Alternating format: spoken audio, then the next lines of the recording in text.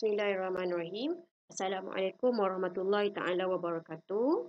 Uh, jumpa lagi kita hari ini untuk subjek bahasa Arab Al-Lughatul Arabiyyah bersama Ustazah Fatimah dengan tajuk yang baru pada bab kedua iaitu Al-Malabisu yang bermaksud pakaian. Baik.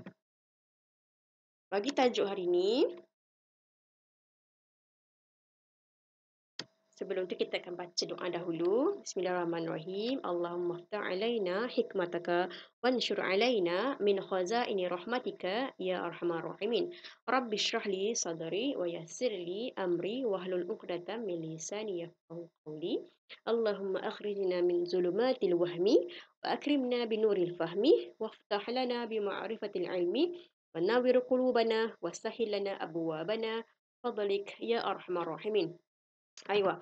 Baik, untuk hari ini tajuk kita adalah pakaian. Baik, pakaian sendiri terbagi kepada berbagai-bagai jenis pakaian.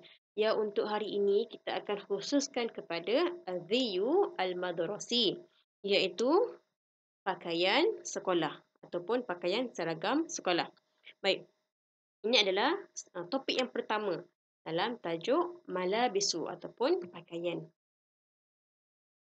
Uh, dalam kehidupan kamu sebagai seorang pelajar, kamu dah lihat pelbagai jenis pakaian seragam sekolah. Seperti mana yang Ustazah uh, beri contoh dalam gambar yang ni. Pertama ni adalah gambar pakaian seragam bagi pelajar perempuan.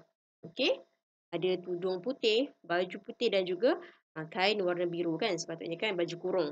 Manakala gambar yang kedua ni adalah pakaian seragam juga. Tetapi dalam bentuk baju sukan yang kita gunakan sewaktu untuk uh, aktiviti uh, pendidikan jasmani dan kesihatan.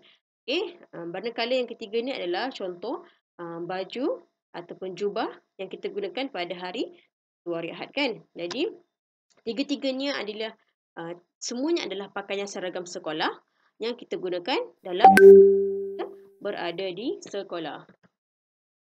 Baik, seterusnya yang ini kalau dalam perhimpunan sama juga kita pakai uh, kita akan pakai pakaian seragam sekolah. Seterusnya, mari kita lihat contoh di dalam buku teks. Siapa yang ada buku teks, boleh lihat muka surat uh, 8 dalam buku teks bahasa Arab tajuk Al-Malabisu. Baik. Dalam uh, muka surat 9 ada uh, ada contoh eh, perbualan antara ustaz dan juga anak murid. Baik, tajuk 1.2 ni adalah Aziyu Al-Madrasi. Tajuk. Kemudian ada uh, Al-Hiwar ataupun uh, perbualan. Okey, saya baca sikit. Ya Ustaz, limadha yajibu alaina an nalbasa aziyya ar-rasmiyah? Wahai murid kata apa? Dia tanya, wahai Ustaz, mengapa kita perlu memakai pakaian seragam sekolah? Ha, kenapa nak pakai baju sama? Ha, kadang orang tak suka hati kan pakai yang ni pakai baju hitam, boleh pakai baju warna pink, warna yang kita suka. Hmm, kenapa tak boleh pakai baju lain-lain? Hmm, Ustaz jawab apa? Yatu'awidu anfusakum ala al-iltizam binizami khas walitamtazu an jama'atil al-ukhra. Saya kata, supaya membiasakan diri kamu patuh kepada peraturan dan berjaya berbanding orang lain. Maksud Ustaz, siapa yang boleh ikut peraturan yang uh, sekolah tetapkan pakai baju ini jadi kamu bila kamu pakai kamu akan menjadi seorang yang uh, berjaya. Kamu uh, mengikut peraturan yang telah ditetapkan. Baik. Seterusnya dalam muka surat yang sama dalam bawah tu ada teks okey? Ini ustazah dah nomborkan. Kalau kamu lihat di sini ada nombor satu nombor dua nombor tiga dan nombor empat. Semuanya adalah satu ayat Okey. Jadi, ada nombor-nombor ni saya dah letakkan maksud dia di kotak sebelah kanan. Saya akan baca maksud dia saja. Okey, yang pertama. Kita wajib menutup aurat. Kita wajib menutup badan dan aurat dengan pakaian yang menjaga maruah dan jauh daripada maksiat. Maksiat itu adalah perkara yang buruk, yang tidak baiklah. Okey. Uh, nombor dua, ada pakaian yang dikhususkan untuk dipakai sewaktu musim panas dan musim sejuk. Okey, yang ketiga, sewaktu perayaan kita pakai pakaian baru yang cantik. Dan keempat, Dan pakaian terbaik adalah pakaian takwa. Maksudnya adalah uh, bukan kita pakai baju cantik saja, bukan kita pakai baju bersih dan baru saja, tetapi kita pakai baju tu untuk menjadi orang yang lebih baik. Uh, kita tak tunjukkan aurat kepada orang lain. Kita menjadi orang yang jaga kebersihan. Kita um, macam-macam lah maksudnya menunjukkan kita cuba menjadi orang yang lebih baik dengan pakaian yang kita pakai. Terusnya, contoh di dalam buku teks. Okey, ada beberapa gambar yang dalam buku teks. Kamu lihat buku surat 10 ada 9 gambar yang diletakkan contoh dan gambar dalam pakaian sekolah yang harian kamu pakai. Okey, baik. Yang pertama, al-qamisul abyad. Qamisu tu adalah kemeja abyad warna putih. Jadi, kemeja putih al-qamisul abyad. Ha, ni untuk pelajar lelaki. Yang kedua, al-bantalun al-buniyu. Al-bantalun tu seluar panjang. Al-buniyu tu warna coklat. Okey. Yang ketiga, aziyul wataniyu lirijal.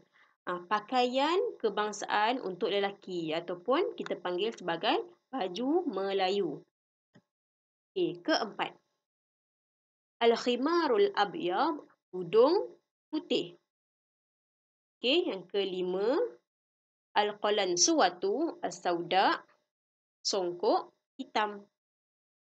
Yang keenam, sampinul aswad, samping hitam. Yang ketujuh, al-izarul azraq, kain biru. Ini pula pakaian seragam ataupun uniform sekolah bagi pelajar perempuan. Okey.